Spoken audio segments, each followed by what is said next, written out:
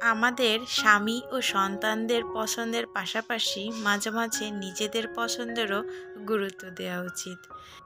কেননা, নিজেরা যদি শারীরিক ও মানসিকভাবে ভালো না থাকি, তাহলে কীভাবে পরিবারের সবাইকে ভালো রাখব? হ্যালো ফ্রেন্ডস, আমি তৃপ্তি। আছি আপনাদের সঙ্গে বাংলাদেশি ব্লগার তৃপ্তি চ্যানেল থেকে। আশা করছি যে যেখান থেকেই আমার আজকের এই ভিডিওটি দেখছেন, সবাই ভালো আছেন, সুস্থ আছেন। প্রতিদিনের মতোই সংসারের কিছু গোছানো কাজকর্ম, রান্না খাওয়া আর সাথে আপনাদের সঙ্গে একটি গল্প করতে নতুন ভিডিওতে আপনাদের সবাইকে জানাই স্বাগতম। আজ সকালে নিজের পছন্দের নাস্তা তৈরি করব আর আপনাদের সঙ্গে একটু গল্প করব। আজকের সকালের নাস্তাতে আমি দুধ চা আর পরোটা খাব। এটা কিন্তু শীতের মধ্যে আমার খেতে অনেক ভালো লাগতো, তবে গরমের মধ্যেও পছন্দের খাবারটা কিন্তু শীত গরম কোনোটাই ব্যাপার না। যদিও এর আগে আমার দুই পর্ব নাস্তা তৈরি করা হয়ে গেছে, কারণ সকাল ছয়টায় উঠে ছোট বাচ্চাটাকে একটু পাউরুটি আর ডিম দিয়ে স্যান্ডউইচ করে দিয়েছিলাম তার টিফিনের জন্য। তারপর ওকে স্কুল বাসে রেখে এসে তারপর দুই মেয়ে আর ওদের বাবার জন্য একটু ভাত ভাজি করেছিলাম। তো ওরা ওটা খেয়ে স্কুল এবং ওর বাবা তার কাজের জায়গায় চলে গিয়েছে। তো এখন মাথা অনেকটাই ঠান্ডা। তো ঠান্ডা মাথায় একটু আমার পছন্দের যে নাস্তাটা সেটা করে নিচ্ছি। সব সময় না বাচ্চাদের পিছনে সংসারের কাজকর্ম বলেন, ওর বাবার পছন্দ। সব কিছু মিলিয়ে সবার পছন্দের পিছনে দৌড়াতে দৌড়াতে অনেক সময় হাঁপিয়ে যায়।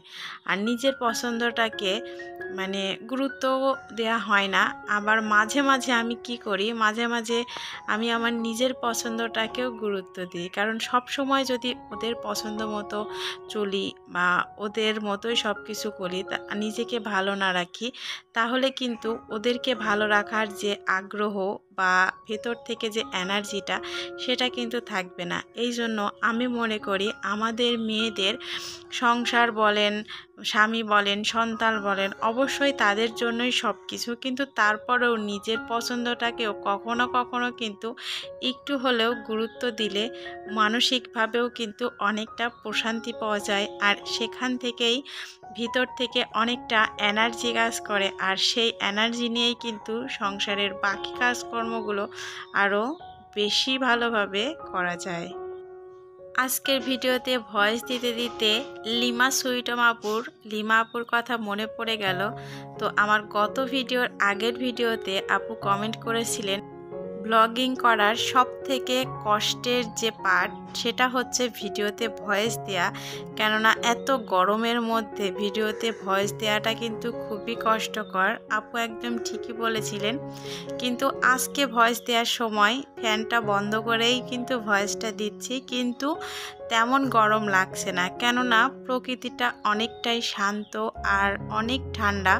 তো ঈশ্বর চাইলে সব কিছুই ঠান্ডা। দেখেন যেখানে আমরা এসি দিয়েও ঘরটা কিন্তু সেভাবে প্রকৃতির মতো ঠান্ডা করতে পারছিলাম না। আবার যাদের বাসায় এসি নেই, তারা দুই তিনটা স্ট্যান্ড ফ্যান লাগিয়েও কিন্তু গরম থেকে আমরা মুক্তি পাচ্ছিলাম না। সেখানে ঈশ্বর প্রকৃতিকে এমনটাই ঠান্ডা করে দিয়েছে যে ফ্যান ছাড়াও কিন্তু আমরা এখন অনায়াসে থাকতে পারছি। তো সবটা তারই ইচ্ছা, তারই লীলা খেলা। তো আমার গত ভিডিওতে অনেকেই কিন্তু অনেক সুন্দর সুন্দর কমেন্ট করেছেন, যেটা দেখে আমার মনটা খুবই ভালো হয়ে গেছে। আর সেখান থেকেই আমি আপনাদের মাঝে আজকের এই ভিডিওটা শেয়ার করার আগ্রহ পেয়েছি। তো প্রথমেই রূপা দিদি ভাইয়ের কথা বলব। রূপা দিদি ভাই সবসময় আমার ভিডিওতে বেশ ভালো ভালো কমেন্ট করেন। তো কালকের রূপা দিদি ভাইয়ের কমেন্টটা আমার মন, প্রাণ ছুঁয়ে গেছে, জুড়িয়ে গেছে। তো দিদিভাই লিখেছিলেন মানে কমেন্টটা অনেক বড়, আমি আমার মতো করে আমার ভাষায় বলছি যে এত রাতে ভিডিওটা নোটিফিকেশন পেয়েছি, আমি তো শুয়ে পড়েছিলাম, তারপরও তোমার ভিডিও দেখে এড়িয়ে যেতে পারলাম না। আসলে কিছু কিছু মানুষ থাকে যাদেরকে না দেখেও তাদের কথা শুনে বা তাদের সঙ্গে মিশে তাদেরকে অনেকটা ভালোবাসা তৈরি হয়ে যায়। তো তুমি তেমনই একজন আমার কাছে। তো রূপা দিদিভাই খুব সকালে ঘুম থেকে ওঠে, এজন্য সকাল রাত এগারোটার মধ্যেই শুয়ে পড়ে। তারপরেও ভিডিওটা দেখে, ভিডিও সম্পর্কিত আরও অনেক কমেন্ট করেছিল।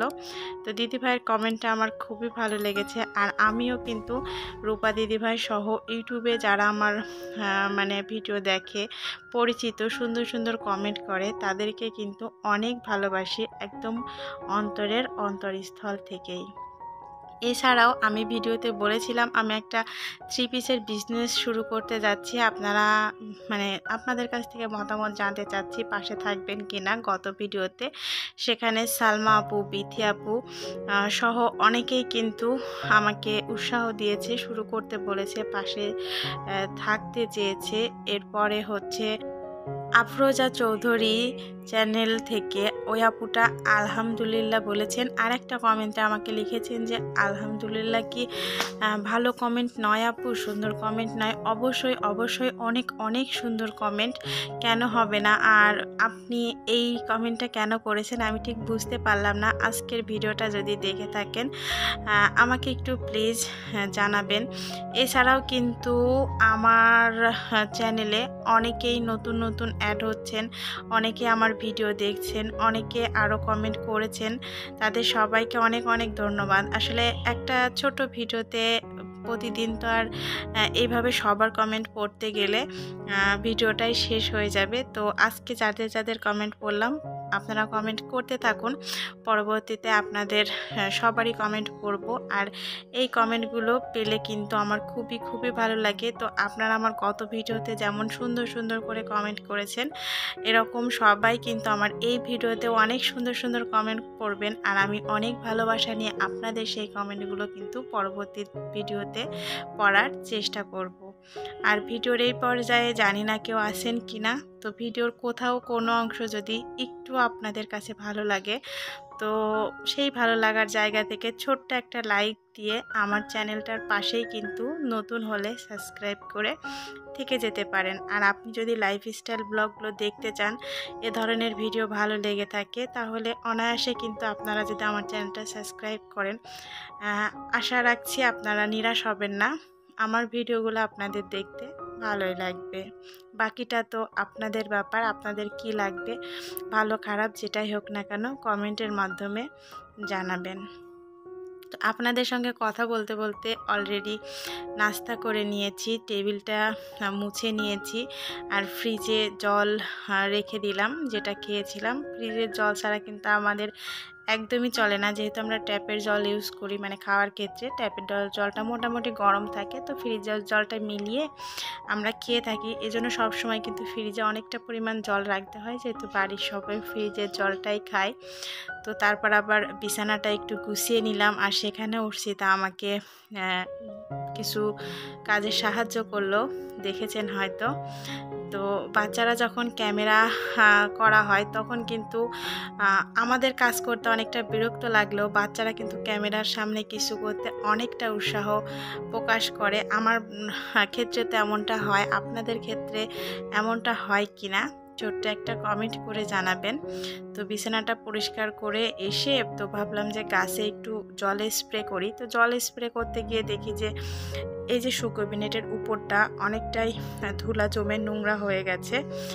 তো যার কারণে আমি আর কি গুঁড়া সাবান দিয়ে একটু স্ক্রাবার দিয়ে ঘষে তারপর ভিজা ন্যাকড়া দিয়ে মুছে আবার সুন্দর করে গাছগুলো দিয়ে এই সুকেবিনেটটা সাজিয়ে সমস্ত জিনিস জায়গায় রেখে দিচ্ছি। তো কেমন লাগল আপনারা একটু কমেন্ট করে জানাবেন। আর গাছ দিয়ে এভাবে ঘর সাজাতে কে কে পছন্দ করেন প্লিজ একটা কমেন্টে জানিয়ে গেলে আমি খুশি হব। অনেকেই আমাকে ভিডিওতে কমেন্ট করেন, দিদি ভাই, তুমি কত সুন্দর করে গুছিয়ে কাজ করো তারপর তোমার গুছানো কথাবার্তাগুলো শুনতেও অনেক ভালো লাগে। তো আসলে আপনাদের মানসিকতাটা অনেক অনেক ভালো, যার কারণে আমার এই সাধারণ কাজকর্ম, সাধারণ কথাবার্তা এগুলোই আপনাদের মন কেড়ে নিয়েছে। এর ক্রেডিটটা কিন্তু শুধু আমার নয়, আপনাদেরও। তো ঘরের কিছু কাজকর্ম সেরে তারপর বাচ্চাকে স্কুল থেকে নিয়ে এসে ওকে খাইয়ে দিয়ে, চান করিয়ে দিয়ে তারপরে যে দুপুরে রান্নাটা সেরে নিয়েছি। তো আজকে আর কি টাটকা বাটা মাছটা পাঠিয়েছিল। তো বিলের মাছ নাকি এটা ওর বাবা বলছিল অনেক টেস্ট হবে। তো আসলেই ভালো হয়েছিল। তো বাটা মাছটা ভাজা রেখেছি কয়েকটা আর এই যে কয়েকটা ঝোল করেছি আর ওর বাবাকে মাছ সহ, ঝোল সহ খাবার দিয়ে দোকানে পাঠিয়ে দিয়েছি। তো আজকে রান্নাটার আপনাদের সঙ্গে শেয়ার করলাম না। আপনি জানি আমার রান্নাগুলো দেখতে আপনারা অনেক বেশি পছন্দ করেন। আসলে একটা ভিডিওতে সব কিছু শেয়ার করতে গেলে না ভিডিওটা অনেক বড় হয়ে যায়। আর যেটা দেখতে আপনাদের ভালো লাগে না, তো আমি চেষ্টা করি আমার ভিডিওতে সব কিছুই এক এক দিন এক একটা একটু একটু করে রাখতে যাতে আপনাদের একটু বোরিং ফিল না হয়। আপনারাও স্বাচ্ছন্দ্য মতো ভিডিওটা দেখতে পারেন। তো যার কারণে সংসারের প্রতিনিয়ত তো সব কাজই করতে হয়, সেখান থেকে এক একটা দিন এক একটা অংশ আপনাদের সঙ্গে দেখাতে চেষ্টা করি। তো আপনাদের কেমন লাগে জানাবেন। তো এখন দেখতে পাচ্ছেন এই যে একটা ফ্যান তো বাচ্চারা যখন স্কুলে যায়, স্কুল বাসের মধ্যে কিন্তু অনেকটাই গরম থাকে। আর জ্যামের কারণে যখন বাসটা দাঁড়িয়ে থাকে তখন তো অনেক গরম থাকে। তা বাদেও আমরা যখন কুসিনে যাই বা বাচ্চারা কুসিনে যায়, অনেক সময় কারেন্ট থাকে না। গরমের মধ্যে কিন্তু লোডশেডিং হয়ে থাকে। তো যার কারণে আর কি এই ফ্যানটা অর্থের অনেক অনেক পছন্দ মানে কি বলব, খুবই পছন্দ হয়েছিল। তো এই ফ্যানটা ওকে কিনে দিয়েছি। আর এই ফ্যানের বাতাসটাও কিন্তু বেশ ভালো।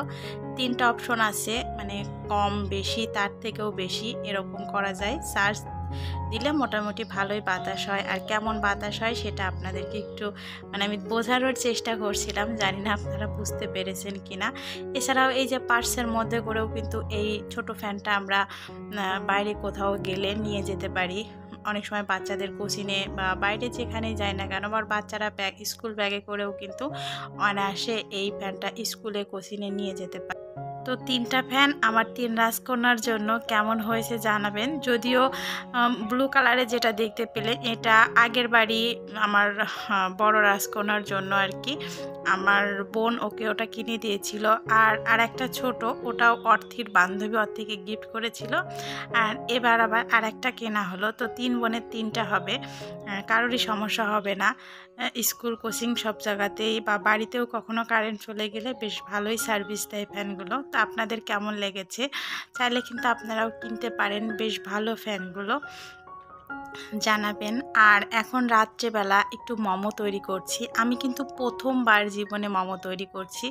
তো তোরা মাঝে মাঝেই কিন্তু বলে যে, মামনি, আমাকে মোমো তৈরি করে দিও। তো আমি আসলে কখনো করিনি। তোর বাবা মাঝে মাঝে বাইরে থেকে কিনে আনে। আর ওনা ইন্ডিয়ান যে ফুড ব্লগার রিভিউ দেয় মানে যে ব্লগগুলো করে, ওগুলো খুব বেশি দেখে ইন্ডিয়ান স্ট্রিট ফুড আর ইন্ডিয়াতে এই মোমো খাবারটা কিন্তু অনেক বেশি কমন স্ট্রিট ফুড হিসাবে সবাই অনেক পছন্দ করে।